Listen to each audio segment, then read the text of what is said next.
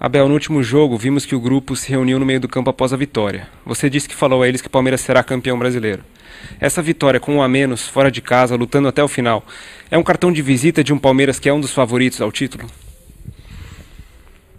É, eu já disse que, que seja onde for, seja contra quem for, o Palmeiras joga sempre para vencer. Não vai vencer sempre, vai perder, como já perdeu várias vezes, como já perdeu a Copa, a Recopa, o Paulista, o Mundial.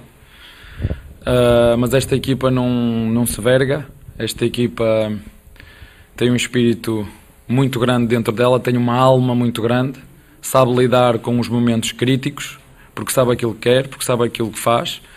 E portanto nós temos que encarar é cada treino e cada jogo e cada ação dentro do próprio jogo como se fosse o último e cada um de nós dar o nosso melhor nessa ação. Ou seja, cada minuto de jogo nós tentarmos fazer o nosso melhor para que os nossos os nossos torcedores, quem gosta do Palmeiras, sinta orgulho uh, na sua equipa, que é aquilo que eu sinto hoje dos meus jogadores, um tremendo orgulho, porque entramos no jogo e entramos muito bem no jogo, depois o adversário reagiu, o que era normal, tivemos ali algumas contrariedades que nós próprios, que nós não controlamos, a equipa manteve sempre o foco, a concentração, e hoje foi preciso três coisas, foi preciso correr, e os meus jogadores correram, foi preciso sofrer, e os meus jogadores sofreram, e foi preciso jogar e marcar, e os meus jogadores jogaram e marcaram. Portanto, parabéns para eles. Perguntas do Leonardo Dai, da CBN, e Gabriel Iocota, do Verdazo. Abel Palmeiras conseguiu criar mais oportunidades no 11 contra 10, com o jogo empatado, do que no 11 contra 11, com a vantagem no placar.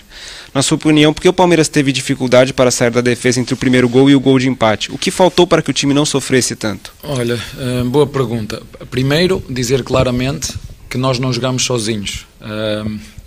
Eu desafio os jornalistas a ver o, este europeu, é? as equipas não jogam sozinhas. Nós, essa pergunta, a pergunta que me está a fazer, está-me a fazer como se o Palmeiras jogasse sozinho e que se o Palmeiras, após estar a ganhar um zero, desceu porque nós, não, nós não jogamos sozinhos, jogamos contra um grande rival que tem muita qualidade individual e coletiva.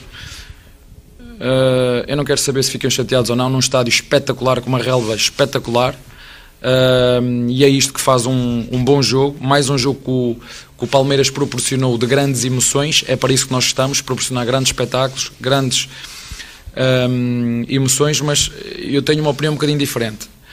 Uh, nós estamos a ganhar um zero na segunda parte do nosso adversário e reagir, porque é normal reagir e arriscar. E nós uh, fizemos uma alteração, e já vamos falar dela seguramente.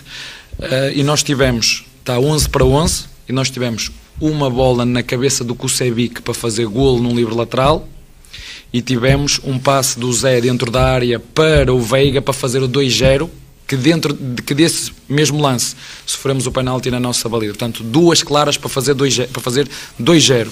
E depois, após o, a expulsão, eu tive ali porque achei que a minha equipa foi duplamente penalizada, pelo menos nas regras que eu sei, eu não sou especialista em arbitragem, mas o que me dizem é quando há um penalti, o, a equipa não pode ser penalizada duas vezes, mas tenho que ainda aferir isso ao pormenor, porque é que a minha equipa foi penalizada duas vezes, com um penalti e com uma expulsão. Eu fiquei eh, um pouco irritado por causa disso, porque não percebi, mas uh, uh, tenho que ainda ler as regras para perceber se realmente o árbitro tinha razão uh, um, ou não.